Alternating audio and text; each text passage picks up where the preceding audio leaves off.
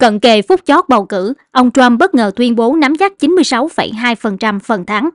Cuộc bầu cử Tổng thống Mỹ 2024 chưa đi vào hồi kết, nhưng ông Trump lại tuyên bố ông có 96,2% khả năng giành chiến thắng trong cuộc bầu cử. Kênh NBC News đưa tin, trong sự kiện tranh cử tại thành phố Pittsburgh, bang Pennsylvania, ông Donald Trump đã đưa ra thông điệp cuối cùng gửi đến cử tri trước ngày bầu cử.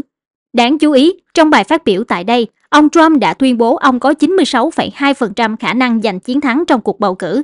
Đồng thời, ông Trump cũng bác bỏ việc những người nổi tiếng liên tiếp xuất hiện tại các sự kiện tranh cử của đối thủ, Phó Tổng thống Kamala Harris. Ông khẳng định, chúng ta không cần một ngôi sao bởi vì chúng ta có chính sách.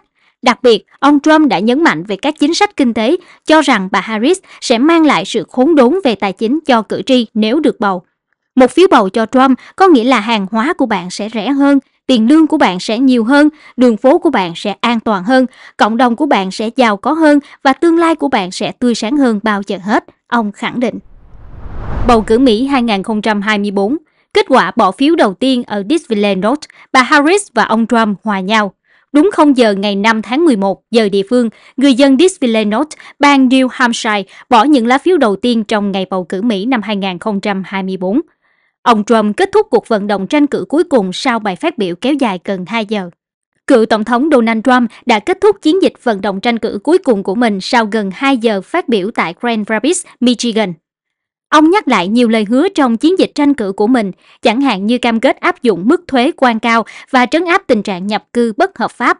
Bài phát biểu dài của ông kết thúc một chiến dịch tranh cử dài khi Trump cho biết ông đã tham dự hơn 900 cuộc meeting trong năm nay. Tỷ số 3-3 ở Disneyland North. Đúng 0 giờ ngày 5 tháng 11 giờ địa phương, tức 12 giờ trưa nay giờ Việt Nam, người dân khu dân cư Disneyland North, bang New Hampshire bỏ những lá phiếu đầu tiên trong ngày bầu cử Mỹ năm 2024. Công tác bỏ phiếu diễn ra trong vỏn vẹn chưa đầy 10 phút. Việc kiểm phiếu diễn ra ngay sau đó.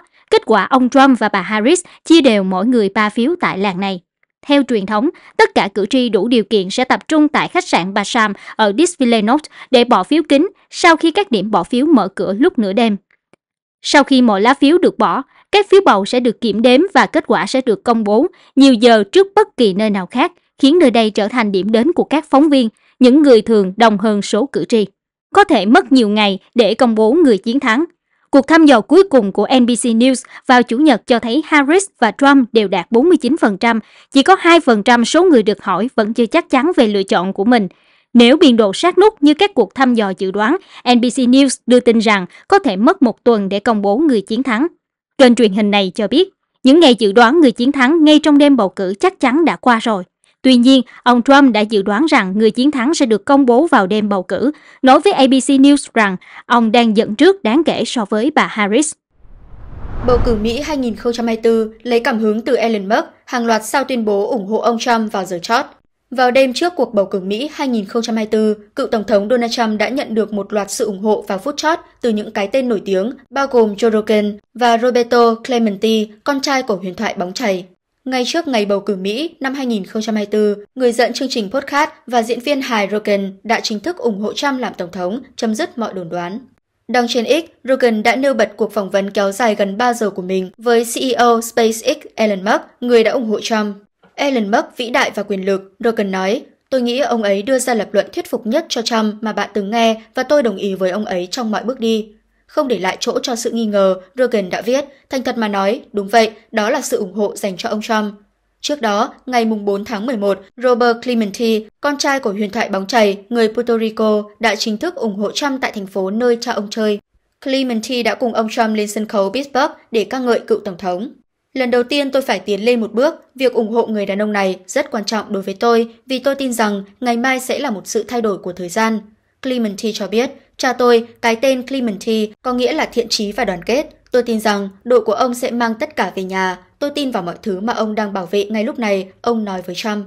Sáng sớm ngày 4 tháng 11, Randy Mahomes, mẹ của tiền vệ ngôi sao Kansas City Chiefs, Patrick Mahomes đã ủng hộ ông Trump trong trận đấu với Tampa Bay Buccaneers. Trong một video độc quyền của Outkick, Randy Mahomes, đội trước mũ đỏ Make America Great Again với áo nỉ Chief đã tuyên bố sự ủng hộ của bà dành cho Trump. Make America Great Again, hãy làm điều đó, thật tuyệt vời, Randy Mahom nói. Ngoài ra, vào sáng thứ Hai, người dẫn chương trình podcast Making Kelly đã cùng ông Trump lên sân khấu của Pittsburgh và ca ngợi cựu Tổng thống là người bảo vệ phụ nữ. Chương trình tặng 1 triệu USD của Elon Musk về phần Elon Musk, một thẩm phán Penny Ivania đã ra phán quyết vào thứ Hai rằng chương trình tặng thưởng 1 triệu USD mỗi ngày của Elon Musk cho cử tri vẫn có thể tiếp tục. Đây là chiến thắng cho tỷ phú công nghệ và đồng minh của Donald Trump. Tuy nhiên, tác động thực tế của phán quyết này là hạn chế và chủ yếu mang tính biểu tượng vì chương trình rút thăm trúng thưởng kết thúc vào thứ Ba, tức ngày bầu cử. Thẩm phán Angelo Folita của Tòa án Philadelphia đã bác bỏ lập luận của luật sư quận thành phố Larry Kalasner, người cho rằng chương trình rút thăm trúng thưởng là một cuộc sổ số bất hợp pháp, vi phạm luật tiểu bang và phải dừng lại ngay lập tức.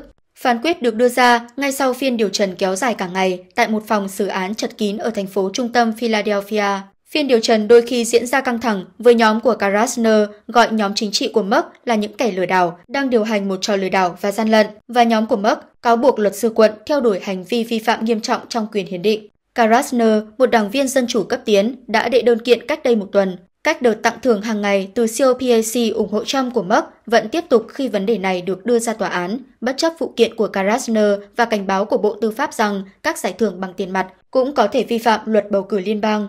Mark và các luật sư của ông đã gọi vụ kiện của Karasner là chiêu trò quảng cáo và cáo buộc ông đưa ra vụ kiện ra tòa vì ông không đồng ý với việc Mark ủng hộ Trump.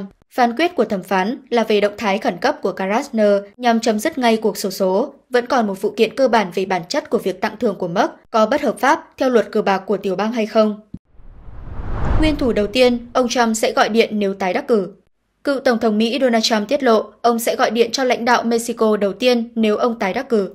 Phát biểu trước hàng nghìn người ủng hộ ở North Carolina ngày 4 tháng 11, ông Trump cho biết Tổng thống Mexico mới nhận chức Claudia Sheinbaum sẽ là nguyên thủ quốc gia đầu tiên mà ông nói chuyện và tuyên bố sẽ áp đặt thuế quan với Mexico nếu điều đó không ngăn cản người di cư vượt qua biên giới chung. Tôi chưa gặp bà ấy, nhưng nếu tái đắc cử thì ngay ngày đầu tiên hoặc sớm hơn tôi sẽ thông báo với bà ấy rằng nếu họ không ngăn chặn làn sóng tội phạm và ma túy vào đất nước chúng tôi, tôi sẽ ngay lập tức áp dụng mức thuế 25% đối với bất kỳ hàng hóa nào của họ vào Mỹ. Mexico là đối tác thương mại số 1 của chúng tôi, chúng tôi sẽ kiếm được nhiều tiền, ông Trump nói. Ông Trump tin quan điểm cứng rắn của ông buộc Mexico điều binh tới biên giới phía Nam dọc theo Guatemala và Belize để ngăn chặn người di cư vào Mỹ.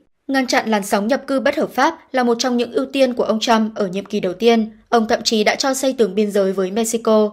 Đây không phải là lần đầu tiên ông Trump cảnh báo tăng thuế với hàng hóa Mexico về vấn đề nhập cư. Năm 2019, với tư cách là Tổng thống, ông đã công bố kế hoạch áp thuế 5% đối với tất cả hàng hóa nhập khẩu của Mexico, tăng hàng tháng lên 25% cho đến khi Mexico thực hiện hành động hiệu quả để hạn chế nhập cư bất hợp pháp. Cảnh báo này đã khiến Mexico phải đàm phán, đồng ý triển khai lực lượng vệ binh quốc gia đến biên giới phía Nam và mở rộng các nghị định thư bảo vệ người di cư nhằm tránh được thuế quan. Ông Trump thường đề cập đến thành tựu đó tại các cuộc vận động tranh cử và tuyên bố Mỹ có biên giới vĩ đại nhất trong lịch sử. Tổng thống mới nhậm chức của Mexico, Claudia Sheinbaum, cam kết hợp tác chặt chẽ với tổng thống tiếp theo của Mỹ. Bất kể kết quả bầu cử như thế nào, Bộ Ngoại giao Mexico nhấn mạnh chính sách di trú của họ độc lập với cuộc bầu cử Mỹ. Ông Trump và ứng cử viên Đảng Dân Chủ Kamala Harris ngày 4 tháng 11 đã hoàn tất chiến dịch vận động tranh cử, tập trung vào các bang chiến trường có thể quyết định kết quả bầu cử như North Carolina, Pennsylvania và Arizona. Tùy vào từng kỳ bầu cử mà kết quả bỏ phiếu phổ thông có thể được xác định vài giờ sau khi các điểm bỏ phiếu đóng cửa hoặc mất vài ngày. Ông Trump nói ông không muốn đợi 10 đến 12 ngày hay 23 ngày, thậm chí là chỉ 2 giờ để biết kết quả của cuộc bầu cử. Tôi muốn biết câu trả lời ngay tối bầu cử, ông cho biết. Ngày 5 tháng 11, hàng chục triệu cử tri ở Mỹ sẽ đi bỏ phiếu bầu ra Tổng thống thứ 47. Theo các chuyên gia, một cuộc chạy đua xít sao như giữa ông Trump và bà Harris sẽ mất nhiều ngày để biết kết quả. Đảng Dân Chủ lo ngại ông Trump sẽ tìm cách tuyên bố chiến thắng sớm ngay đêm bầu cử khi các bang chưa hoàn tất kiểm phiếu.